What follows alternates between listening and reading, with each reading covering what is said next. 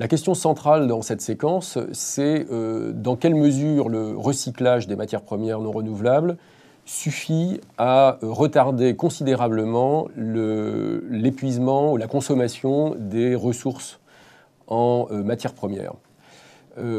Lorsqu'on regarde le cycle dynamique, c'est-à-dire en période de croissance de la matière, on voit que l'effet du recyclage dépend directement d'un facteur prépondérant qui est le taux de croissance annuel des consommations de la matière première en question. Si on croit à 2% par an, le recyclage est un effet plus faible que si on croit à 1%. Et si on croit à 5% par an, l'effet du recyclage est encore plus faible. Il y a un deuxième paramètre qui joue un rôle important, qui est, on pourrait le dire d'une certaine façon, le temps de séjour de la matière dans l'économie, c'est-à-dire combien de temps il se passe, combien de temps je vais garder ma matière première en utilisation avant d'en faire un déchet. Ce qui se traduit par un autre phénomène, ce qui est lié à un autre phénomène, qui est l'addition au stock. Si on regarde le diagramme, un diagramme très simple euh, sur l'économie circulaire, on voit que donc dans notre ville virtuelle, là représentée, euh, dans notre, système d'utilisation représenté par une ville en filigrane à la surface de l'écorce terrestre en jaune, euh, les matières que nous consommons, qui est la flèche bleu-vert marquée totale et qui rentre dans l'utilisation, se répartissent en, deux flux. Le flux qui va vers le bas, qui est l'addition nette au stock, c'est-à-dire la quantité de matière qui vient s'ajouter à notre patrimoine de matières premières, le fait qu'on a une voiture de plus, le fait qu'on a une chaîne stéréo en plus, le fait qu'on a un téléphone de plus.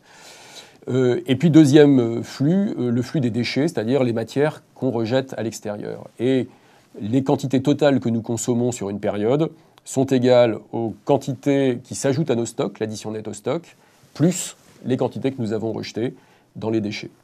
L'économie circulaire consiste à réintroduire euh, une part, si possible, prépondérante euh, des matières contenues dans les déchets dans le circuit de, production des matières premières. Et le taux de recyclage, ça va être l'efficacité, c'est-à-dire la quantité de matière recyclée par rapport à la quantité totale de déchets. Donc on va voir en fait ici plusieurs euh, indicateurs. Le taux de production de déchets qui est le flux de déchets rapporté aux consommations totales de matières premières, la flèche qui rentre le taux d'addition net au stock, qui est la flèche qui va vers le bas, l'addition net au stock, rapportée aux mêmes consommations totales. Et la somme de ces deux taux est égale à 1, puisque la somme de mes deux flux est égale aux consommations totales.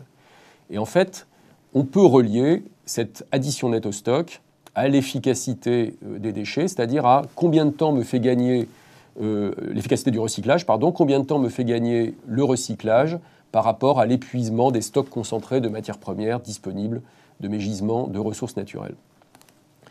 On peut traduire tout ça dans un diagramme qui euh, va comporter, d'une part, euh, trois courbes, en l'occurrence liées à trois hypothèses sur le taux d'efficacité du recyclage, 30%, 60%, 90%. Ça veut dire que si l'économie rejette 100 tonnes de déchets d'une certaine matière première, à, un instant, à un moment donné, 30 tonnes dans le premier cas, ou 60 tonnes ou 90 tonnes sont réintroduites dans le circuit des matières premières. On va figer dans cette nouvelle courbe la croissance de la consommation, le taux de croissance, qui est ici par hypothèse très faible, 0,5% par an, pour être dans les critères déjà établis d'une économie durable.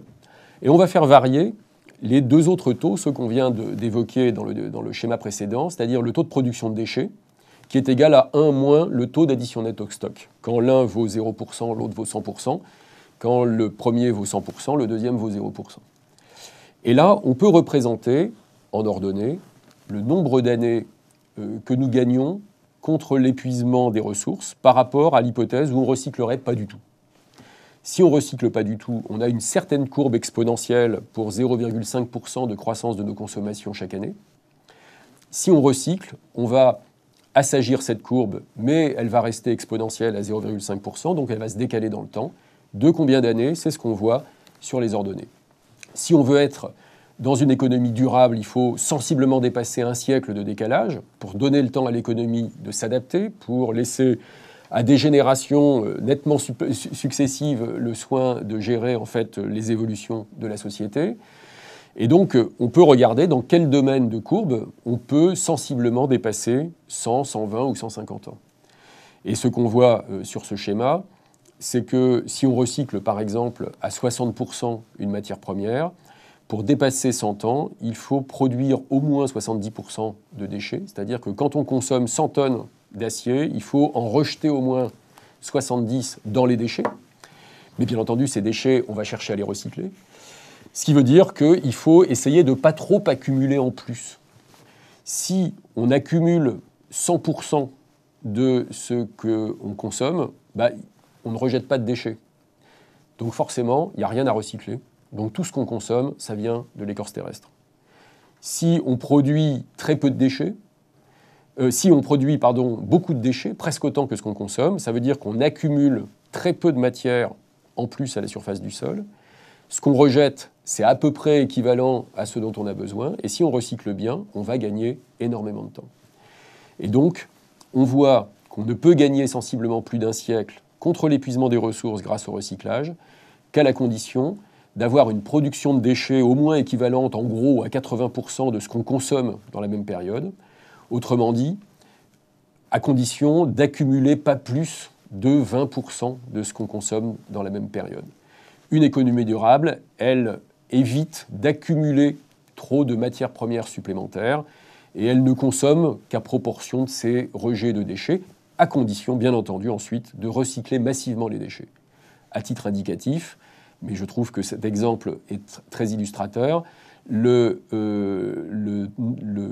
les voitures neuves immatriculées dans la période des années 90 2000 euh, sont pour 20% d'entre elles des voitures en plus. Et donc on est précisément sur un taux d'addition au stock de 20% de nos consommations. Donc voilà typiquement ce que représente ce taux d'accumulation. Et voilà un cas où on est juste à la limite de où ça peut être fiable, à condition que la croissance des immatriculations soit euh, de l'ordre de 0,5%, et à condition qu'on recycle massivement l'acier, par exemple, contenu dans les voitures, ce qui est le cas, ce qui tombe bien.